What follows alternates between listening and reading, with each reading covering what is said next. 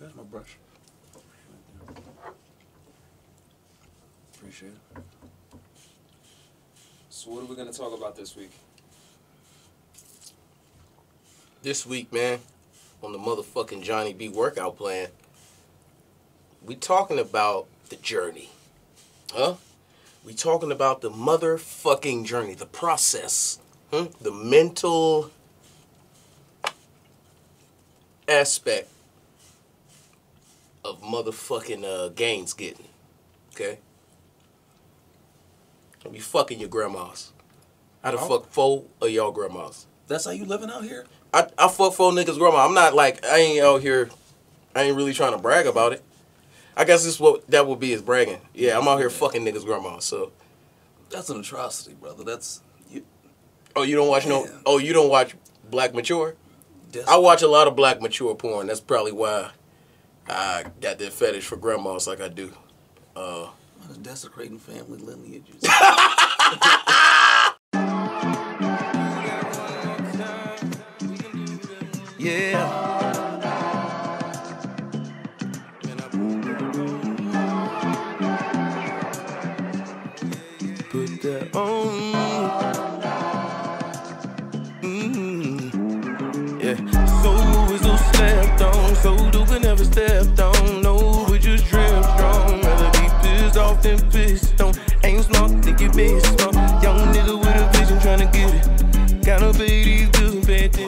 what's up, motherfuckers? How's it going? It's your boy Johnny B, man, It's your boy Scoop Bob. and we here with a another episode of the Johnny B Workout Plan. Today's episode, we want to talk about the journey, okay? We want to talk about the motherfucking journey to greatness. Huh? What's greatness? You can, I don't know if you can make it out, but uh, just a little bit of greatness, okay? Basically, me and my man Scoop, we started out on two opposite ends of the unfit spectrum, okay? I was over here on the left hand side, fat as hell. Okay, all my fatties, make some motherfucking noise, fatties. Huh? Make some noise, bitch! Put them cookies down. My man Scoop was on the other end of the spectrum. Right over here on the right side where all the frail bodies reside. You feel me? Frail body niggas. Hold it down. Hold it down, frail bodies. we both were on opposite end of the spectrum, and you can see where we at now. it's no listen. It ain't even no reason to really get to talking about where we at now. It's it's not up. It's not worth conversation. But what I'm trying to tell you is, no matter what your body type is, no matter what you look like, we're gonna give you the formula to get where you're trying to go. You want to gain, you want to get bulky, you want to get skinny, whatever you're trying to do. Um, you out, you, you're currently watching the Lord gains, the Lord's gain, the Lord's Lord's gains, or the Lord's gain. You, we the best out here doing this shit. Is what I'm trying to say. Time. Did Jesus even live? I don't. I don't see. Yes, he was. Oh, oh. I don't see anywhere in, in, in the Bible where it lists his bench dead or his squat numbers. I don't. I don't really see that anywhere. Jesus was a carpenter. It, it, it implies labor. Jesus lifted. Barely. I mean, Oh, cause he was able to get two by fours. Oh, so we're saying that Jesus did CrossFit. I'm okay. just saying. Ah! That's what we're saying. Okay. Did Jesus even lift? so basically, we just gonna drop some incredible jewels on y'all as it concerns the non-physical aspect of fitness, huh? The shit that actually makes everything work, the shit that actually makes everything move, is is this, is this, okay? You need this and this in order to get that, okay? Yep. Key things are number one, motivation. Huh? You gotta be motivated. You gotta want to do the shit. If you don't want to do the shit, you just not gonna do the shit. You're never gonna like doing the shit because you're not motivated to do the shit. So you gotta find something that makes you want to do it, whether it be a trip, whether it be you know just your overall health goals, whether it be somebody you're trying to impress. Yeah, superficial shit like that can be motivate motivation. The point is, it don't matter why, but you have to find your reason why. It don't matter if it's deep, if it's it ain't gotta be philosophical. Like I want to change my life and move toward the light. And oh, nah, you ain't gotta do that.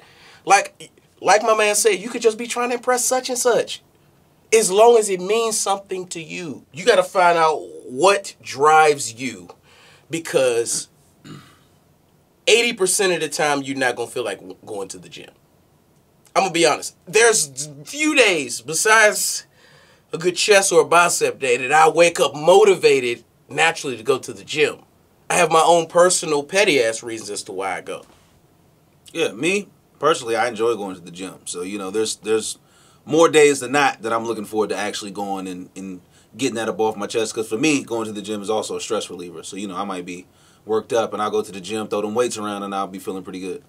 Um, but also, aside from being motivated, one big thing, because you can get excited and be like, yeah, I'm in the gym for a week and a half. You can do the whole new year, new me thing. The biggest thing is consistency. Finding a routine that you can stick to, finding something that, that you can handle and, and progress from that. Whether you starting off, all right, cool, I'm just going once a week and I'm doing whatever. Start with something and progressively grow from there. Otherwise, you know, all that effort you started off putting in will be worth nothing because you're just gonna relapse and sometimes end up worse than you were when you first started. Boom. Motherfucking bullseye emoji, bitch.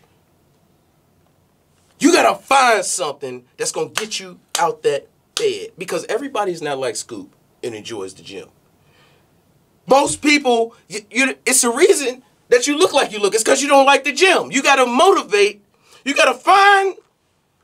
Ah, I wish I had two or three praying swole niggas. And sometimes somebody else is gonna be that motivation. Sometimes if you can't get it yourself, you might need a partner to, to keep pushing. I want to go ahead and throw that out there as a motherfucking major key. Okay, get a partner. If you are not a gym nigga, okay, if you're not already an athlete, if you're not already used to going to the gym and working out, get you a partner with a similar schedule and with similar goals to work out with. That's important. Gotta because be similar. I ain't gonna even front. I, I would not be nowhere close to where I'm at if if me and Scoop didn't go at this together because it was feeding off Scoop's energy and, and, and motherfucking feeding off that both of us out here trying to look like the Lord. Okay? What I'm saying is you don't have to. But if you are a person who's has a hard time uh, being self-motivated, get you a fucking partner. It's one of the most valuable things you could do. And uh, you know, don't get the wrong partner. If you can't find a decent partner to match your work ethic and your goals and shit, just go at it alone. Get on cocaine. And listen, man, as a sidebar, if you want to look like the Lord, if you're trying to look like Jesus, then go ride bikes or some shit. All right? Because I've never seen a picture of Jesus with rear delts. Okay? I've never seen Jesus triceps poking. You understand what I'm saying? Like, I don't know what he benches. I don't know any of that, right? So if you're trying to look like the best version of you, uh, like, subscribe, follow the channel, listen to these tidbits that we're gonna drop on you. Motherfucking right. You understand what I'm saying? But if you want to look like, you know, images of Jesus and whatnot, then, you know, you can flick some ropes around or some shit. I don't Yeah, know. man. Do some motherfucking uh poor form pull ups or something. Yeah, go ahead and do them them flip flop beams. Uh don't look like Jesus. look like Samson or somebody. Somebody who was gangster in the Bible. Somebody that's out here. Jesus damn sure ain't had no rear delts and no Nah, picture he- that I seen. Nah, I've never seen Jesus. Uh, he, had, fact- he had hella collarbone. He had hella collarbone. I've never seen, you know, no pecs though. Jesus went out here ripped. Nigga Mel Gibson. Ah, Jesus was on that keto diet like shit. You feel me? Mel Gibson and the Patriot did not look like Mel Gibson and Ah! Christ. You feel me? Those those was two different niggas. I don't know. No, they actually were different niggas. That was Jim Caviezel. Oh yeah, Jake. It was Jim Caviezel. well, he won't JC. swole either. Jim Caviezel won't swole he neither. won't swole either. Nigga could take a beating, but you know, nigga won't swole, okay? Nah, no, he Those wasn't. Niggas out here doing this. There's one of them crucifixes though. Watch your mouth. Yeah, one of the biggest misconceptions about this workout shit is the amount of time it actually takes you to get results. Now, I understand your bodies are going to vary depending on where you're starting from, your genetics, and all that kind of shit. But if you really get into it kind of hard, if you going in there doing what you got to do, we looking at what like 12 weeks before you before you start seeing some real noticeable results. Right. And see, that's depending on your body type. That's depending on how hard you're going. That's depending on if you dieting good, dieting well. Excuse me. The point is, like people get this big misconception about the time frame that it takes to get godly. It it doesn't take. It don't take no time. And we talking about what doing strength training, training what three times a week? Exactly. Exactly. We talk about strength training first of all. First of all, let me just throw this out here. Personally, I am an advocate and I am an activist for strength training. Okay? Lifting weights. It is the best scientifically proven way. This is not my opinion. It's the best way, the quickest way to burn calories, burn fat, um, just straight science. Okay, when you go and you're on your treadmill for an hour a day, you only burn whatever calories you've burned during that session on the treadmill or the stairmaster or the bike or whatever fucking hippie shit you want. But lifting weights, you're constantly burning calories for days and days and days and days because the reproduction, not the re, the regeneration process of the muscles that you just torn apart in your workout, um, is burns the mo- more calories than anything else on earth. So the point is, man, it doesn't take long. Okay, it doesn't take long. You can turn that body that you currently have into a body that you know doesn't make you cringe when you look in the mirror. Okay. Are you a man with women breasts? Damn. I once was. this shit turned into an infomercial. Yeah. I once was a man with woman tits. they used to call me bi- they used to call me bitch tit Barmore is what they used to call me. Okay. Because they're properly known as bitch tits. Right. They call me they used to call me bitch tit B. So what I'm trying to tell you is whatever body you want in 16 weeks. You don't have to diet forever. It'd be good to maintain a diet for a long period of time, but you don't have to not eat your favorite foods for the rest of your life. You got to just figure out a way to maintain your diet and get to a, a place where, all right, cool. Today I'm gonna eat some bullshit. Tomorrow I'm gonna go extra hard in the gym. It's just a balance type thing, man. But once you get in control of your body, you can do those things. Listen, I had some Heath Bar sugar cookies last night. Bro, I had a uh, brownie sundae last night from uh, what was that? Shit? Joe's on Junipers. And ain't that crazy? We just still up here looking like the Lord. what I'm saying is, We children. just. No, don't use that. What, what you say? We just proved that y'all actually are looking like Samson or something. right, right, right. You know what? You right. We ain't trying to look like the Lord. All right, I, we ain't trying to look like the Lord. We trying to look like I don't know. D- Listen, uh, Man, so y'all done fucked up my spiel, man. I, Yeah, that was, man. That was what I was running with, and y'all just Y'all just Y'all made just swept the like rug the from under me. like Lance Armstrong right, right. We Lord does look like Lance. That nigga look like Tom Green and motherfucking. You know what I'm saying? We're not selling Livestrong bands. the Lord out here built like Andy Dick with a robe on film.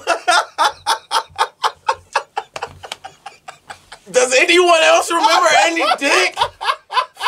Bruh. Man, what a cultural oh gem. man. Oh. oh, that nigga Jesus was frail as hell, bro. working out, adopting fitness in your life will help you with whatever daily task that you currently have. It'll help you be more motivated by the time you get to work. It'll help you be more motivated to knock out whatever things that you want to do because you realize if I apply this same level of consistency, effort, and motherfucking motivation, dedication to whatever I'm doing, everything, all all of my gains in life will be glorious. Okay? Absolutely. Absolutely. And as you progress in the gym, and I feel like naturally you'll get more confident in the gym and that confidence will start to exude in everything else. Because it's like, shit, I wasn't able to lift this 40, 50 pounds. Now I'm lifting twice that. Twice So that. it's like if you apply that to everything else in your life, when you're starting off, you're not going to be able to do the shit that you're trying to do initially. But eventually, it's going to be your warm up. It's going to be, you know, easy shit to you. Yeah. So, you know what I mean? All, it all applies. It's all relative. and it's all you. That's what I love the most. It's you. It's fucking you, my nigga. That's why it's so cold. Can't nobody take it. Can't nobody say shit about it. Can't nobody. It's you. My bad. But this this fucking fitness shit is my shit because it shows us what we are truly capable of. You understand? I was out here looking like a burlap sack of pennies. Okay? A burlap sack? Like specifically a burlap sack. Okay. A burlap sack It's pretty specific. I was just. m- that's filled with pennies and like old ass misshapen pennies. Okay? Um and now you know, now is now. That's all I'm gonna say about that. Say Man, let's wrap this you- shit up though. Let's just go ahead and All right. wrap this on up.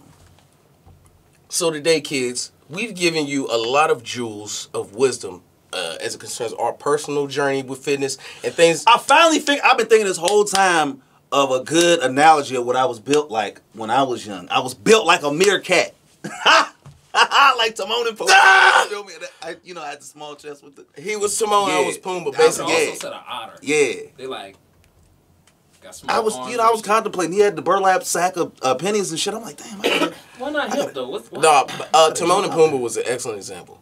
That, that was a good. Because I definitely, personally, I definitely was out here looking like Pumbaa. okay? Hakuna Matata. You feel me? Man, I got that old head wisdom. Life ain't easy, but it's simple. Before you dunk, you gotta dribble. Ain't nobody coming back to get you. Uncle Sam gave me my fundamentals, but he made sure that he fucked up all my medals. Couple dollars, man, just enough to settle.